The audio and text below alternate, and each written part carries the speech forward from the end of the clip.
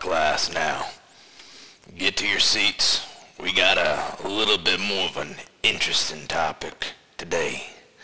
Now, I know we went over the whole scout thing before. You even tried it out in the simulator. Some of you did alright. But most of you are gonna need some practice, which ain't surprising. But today's topic, we're gonna be talking about the Space Superiority Fighters, or Starfighters for short. And I'll tell you, I'm just gonna call them fighters, cause short and sweet, to the point. So, let's see. Fighters have only one thing in common with them that is mass production. It's a kind of a thing.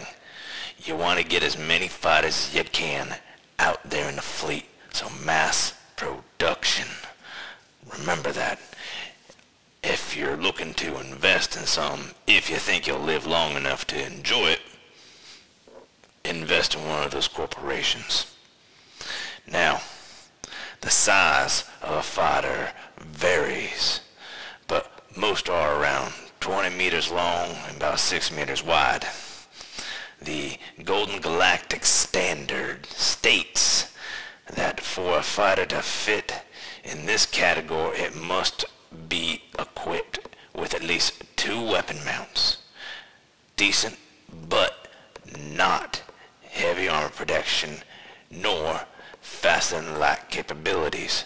Meaning, they can't just willy-nilly jump off on their own accord to another place and then start beating the hell, hell of Jesus out of something and then take a licking themselves and then be able to limp on back no problem. no, sir. Nope. So, uh, strategically, fighters assume the role of main screen ship uh, for the fleet. So basically, you know, they're kind of like your meat shield. Dealing with other similar crafts, intercepting bombers, and even torpedoes. See? Meat shield. If the fighters could be assigned on strike mission duties, replacing lost bombers. So you could say that they're a multifaceted piece of equipment. Realistically, fighters can deal with small starships only since their armaments would be, well, obviously insufficient for a much bigger, heavier vessel. But they can still do plenty of damage. Starfighter designs used by the Terran monarchy are numerous. Local uh, CN units use heavily modified versions based on the best models available because they got the money. Colonists are known to jerry gun pods and missiles and complement their craft weaponry. So, you know, kind of like what your grandpappy did in the garage with his old Studebaker. Just start whipping all sorts of crazy things on there and make it grease lightning. oh, good days. Since this squadron of fighters is probably the very first spaceborne unit that a colony could form, nearly all of their pilots are veterans.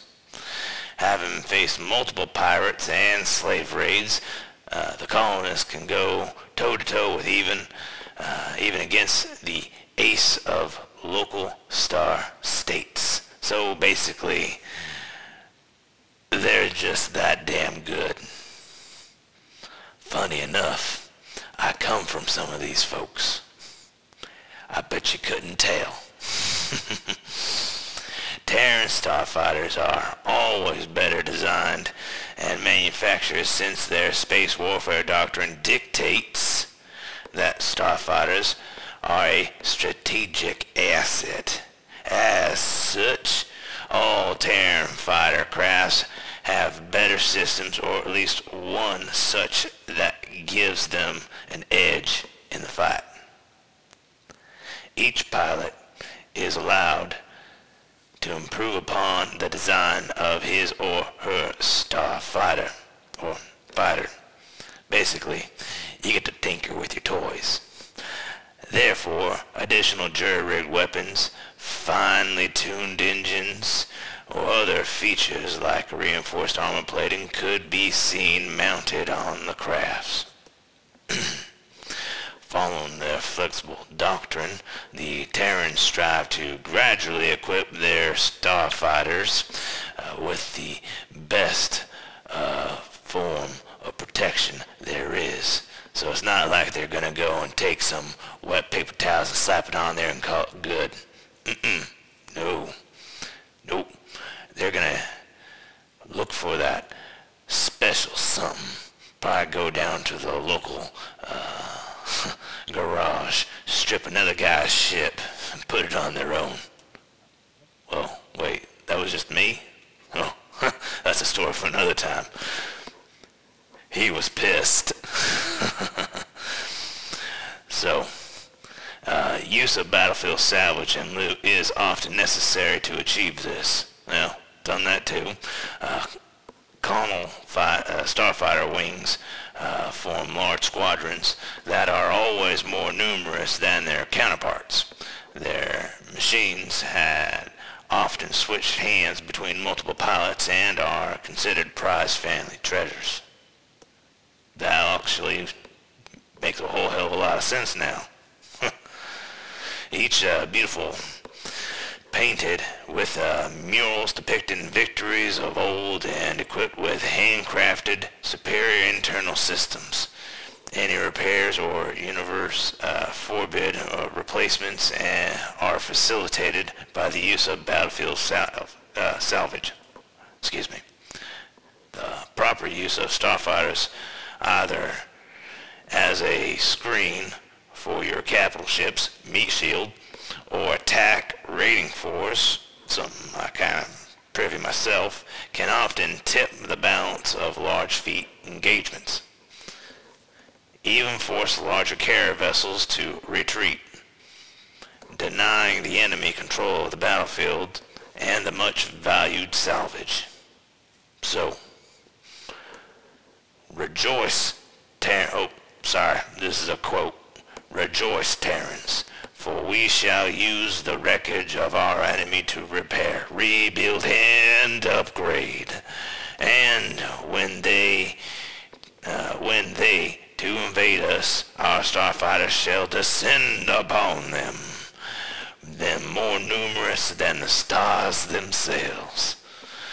Now, who actually quoted that? I don't know. It is quite poetic and just downright beautiful and puts a tear in my eye. Now, ladies and gentlemen, I think this is where we're going to conclude our lesson for the day.